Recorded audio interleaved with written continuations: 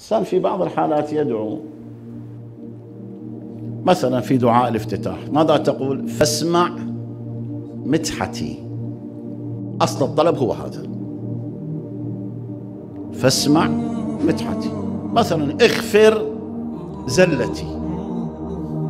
لكن أنت تجعل هناك جملة وسطية فيها غاية. من باب زيادة في الدعاء زيادة في المطلب. عبرها جملة اعتراضية. تقول فاغفر يا غفور زلتي. هي اغفر زلتي لكن أنت توسط تتوسل أكثر.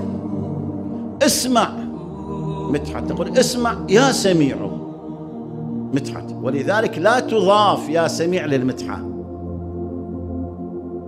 لا تضاف وإنما هي اسمع مدحتي.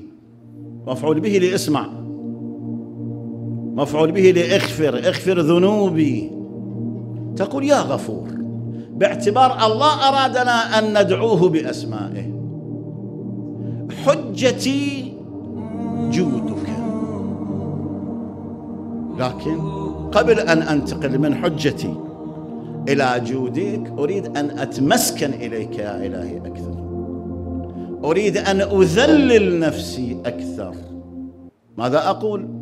حجتي في مسألتك حط شارحة حجتي في مسألتك مع إتياني ما تكره يعني مع ما جئت به من ذنوب ومن جريرة أنا أعترف بها. كيف اذا آني أدعوك؟